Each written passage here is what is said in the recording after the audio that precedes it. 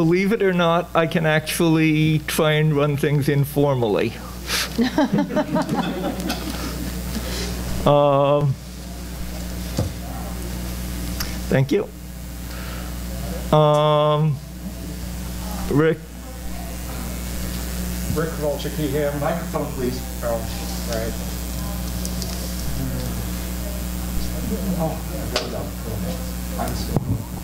Yeah, but I forget too. Rick Kowalczyk, him. Um, one of the recommendations out of this, I think, should be to change the bylaws to change the three quarters to two thirds or simple majority. I think that's one of the things that is likely that caused a lot of problems 10 years ago. I think two thirds is more than an adequate number. So I'd like to suggest that one of the recommendations out of the committee whole is to move to change the bylaws to two thirds. I have no idea, having not hit the lottery by last night, as to venues for a future WesterCon. Sorry. I'll second his motion that that be a recommendation. do we have any objections to that being a recommendation? Two-thirds. Hearing no objections, uh, will the secretary of the committee of the whole, which is, I am going to appoint Linda as the Magic fingers. secretary of the committee of the whole, with the secretary of the committee of the whole, which is not the secretary, although it happens to be the same person, uh, please note that recommendation and when we, and include that as part of the report of this committee. To change the three-quarter, three-quarter requirement? To change the three-quarter requirement to a two-thirds, to a two-thirds requirement. Okay. let me sort of summarize where we are. We don't have a site. Nobody has said, hi, I'm willing to volunteer. How we proceed will depend on whether somebody wants to stick up a hand and say, hi, I think I'm willing to volunteer. I don't necessarily have to have a site but I have to be willing to say, I am going to find the site, please trust me. Is there anybody willing to stick their hand up and say, please trust me, I will find the site?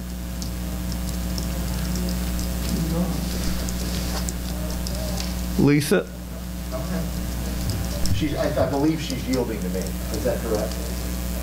Mis- Mr. Chairman?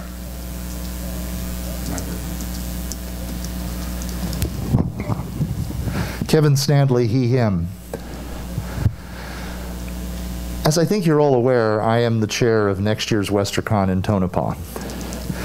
I will preface my remarks by saying we are not especially thrilled with the concept of holding two Tonopah WesterCons in a row, uh, as we think Tonopah will be great, but we are not really sure that two would be uh, greater. However, having said that, I consider Ton- I consider WesterCon an important event. It's been a big part of my life. It's been a part of many of your lives. I would be very sad to see it sort of fizzle out. And I certainly don't want to be the chair of the last WesterCon. There have been some discussions that suggest that should we completely default on our responsibility as a business meeting and give it back to LASFS, and they, they could conceivably, as the owners of the service mark, decide in effect to kill it, which I think would be bad, even though it's a smaller event than it once was. To that end, I and Lisa Hayes and certain other people I've spoken to informally over the last 24 hours who I don't necessarily want to individually name them because they aren't necessarily ready to commit to it. But I and Lisa Hayes are prepared to accept the, the nominal responsibility of finding a location and a committee for WesterCon 74. Tonopah is by no means our first choice. It is very much our last choice of, if everybody else walked away from us. There are a number of places that have been mooted. Without committing to any of them, possibilities might be to uh, approached the folks who originally were bidding for this year and backed off from it because of uncertainty about COVID and so on, they might be, be willing to, to take it on at this point. It would be a little challenging, of course. There are other sites, it's even possible that um, our friends up in Washington might be prepared to take it two years from now, knowing more what they do than I do now. I, I don't, I, I never like turning down money, but I know that we are uh, supposed to be getting something, a grant of some sort from Seattle's Westercon Committee. I would be happy for the health of Westercon as an entity to pass that on to a starting committee who was willing to take that on. It's not a huge amount of money, but it's equivalent to a small site selection upfront money. There were only, how many ballots cast? 19? Fifteen. 15? How many? Fifteen. 15. That's uh, 15 times 20 is not a large digital nest egg because it- it's understandable, of course. To that end, I then move that I and Lisa Hayes be recommended to organize a committee to determine a site for WesterCon 74. Consequences of this is if we are unable to work out something. Did you mean 74? So, did I say 74? I, I apologize. I mean, it's on the camera too. I did. WesterCon 75. Yes, the one that the one that we are charged as a committee to figure out. WesterCon 75. Try and find a site. If we cannot determine anything, we can't find anybody willing to take it on, and as I say, I don't think we're really interested in doing it ourselves again. Um, we would basically have to declare another committee failure. At that point, hand it back to LASFS. Now, I know that I personally would love to see a Los Angeles based committee, not necessarily one of the usual suspects, but a, an LA Basin area convention committee to organize WesterCon 75, the 75th WesterCon, back in its original home area where it started. But there doesn't seem to be anybody from that, from the usual suspects stepping forward. I defer to them if they came. And uh, at this point, I yield the floor perhaps to Ms. Hayes.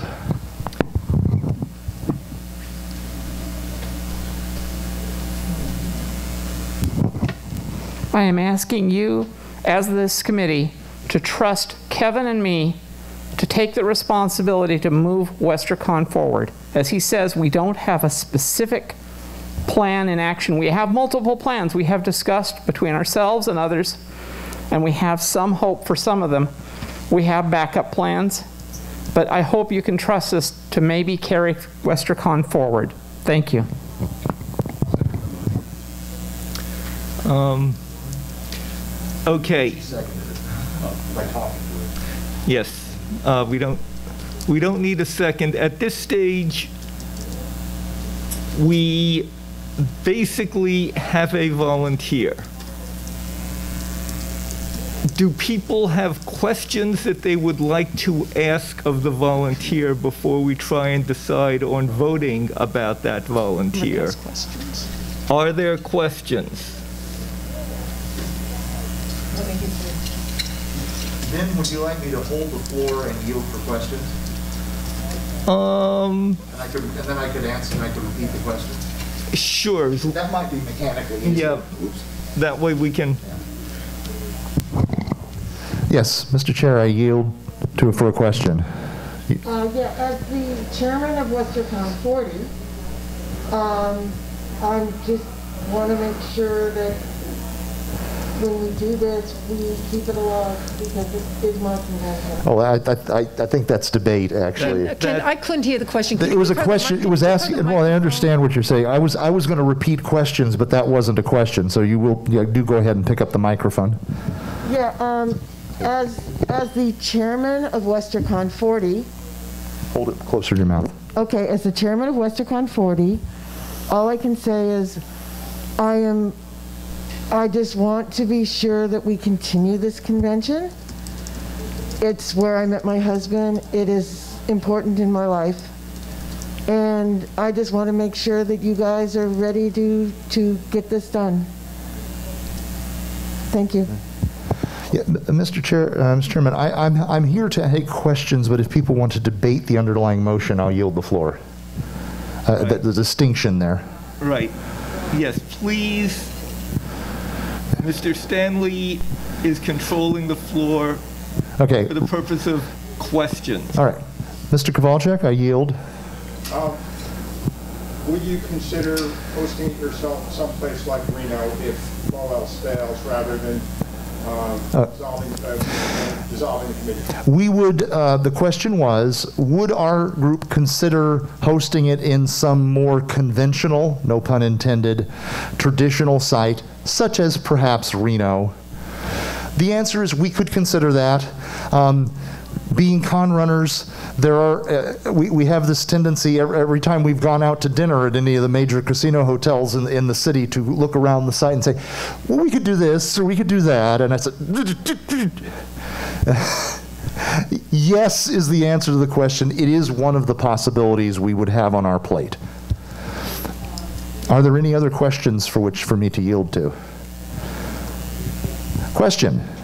Um, two, two parallel questions. What- One is, what do you estimate the attendance to be at Tonopah? What do you ask, what, you're asking, what do we expect the attendance at Tonopah to be? Yes? Part two is, how does that compare to the attendance at the previous in-person? Okay, and how much did that, and how much, the second question is, how does that compare to the pre, previous in-person WesterCon?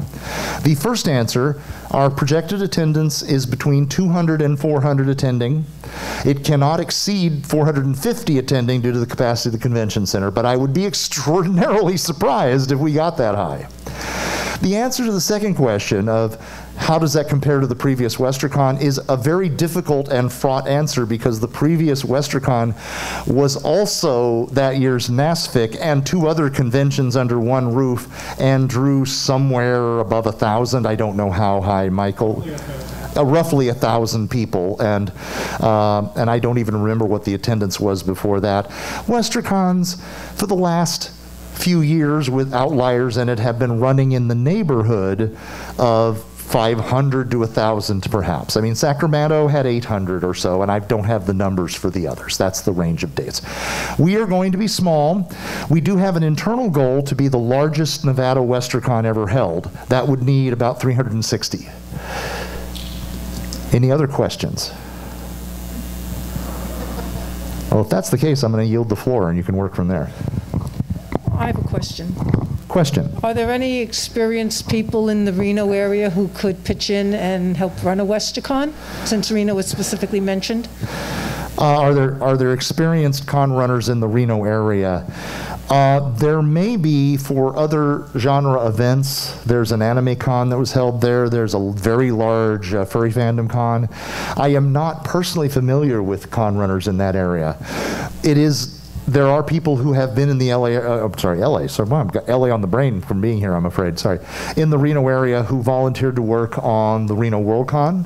Uh, I didn't know them that well. Um, I spoke with some of them. I apologize if we're slighting anybody on this guy. So yes, but no, in a sense. But we we would call in our favors again, the way I did for Tonopah. Thank you again. Uh, but it is a it is it does have facilities for it. I happen to think that Re- uh, if the of the two major cities in Nevada, I would consider Reno a better site than Las Vegas. Okay. Are there any further questions? For, uh, I'll ye- I yield. Yeah, so my, my question next is, what is the geographical range that you would consider for a Western WesterCon? I, you know, I, it has been, Okay, what geographical range would I consider for, a we- would we consider for a WesterCon? North America, west of 104 degrees west longitude or, or Hawaii. I'm not joking. If it's a viable site with people who we believe would be good for, run- would be able to hold the event, any of those sites would be okay with me. I was on the committee for Calgary. I was one of its organizers. Um, uh, I, you can go as far as I think Regina, Saskatchewan. I believe as far is the furthest east you can go in Canada. The furthest east you can go in the U.S. is El Paso. I've been there. Um, El Paso was smaller. Was small. Uh, for various reasons. I'm not slighting any of the groups that were small. WesterCon's been in Boise, but a long time ago, before my time. I'd be interested in knowing where if there were people who wanted to run it. I'm only interested in it continuing with something approaching viability. And viability doesn't have to be huge, it just has to be viable and willing to run. I mean, 200 is viable. It's a small event. It's Are there any other questions of the of the of our group? I'm not seeing anything, so I yield the floor.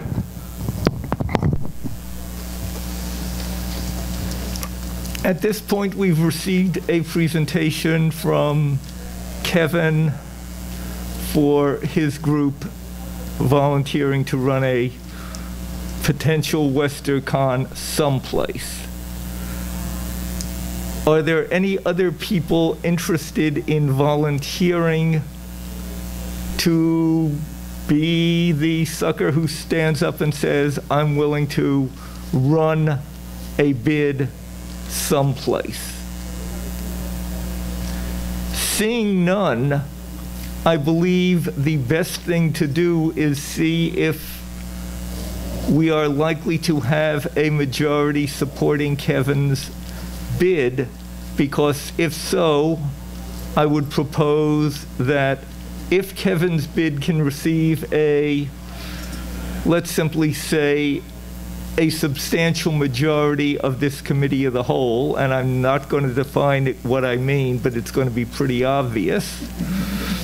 If there is a substantial majority willing to support Kevin's bid, then I would propose that we rise and recommend to the business meeting that they accept Kevin's bid. So, can we get a show of hands who, who is in favor of Kevin's bid? It's pretty clear that there is a substantial majority. Therefore, this committee will recommend to the main business meeting that Kevin's bid be accepted, and I therefore declare that this committee of the whole is over, and the committee rises with a recommendation.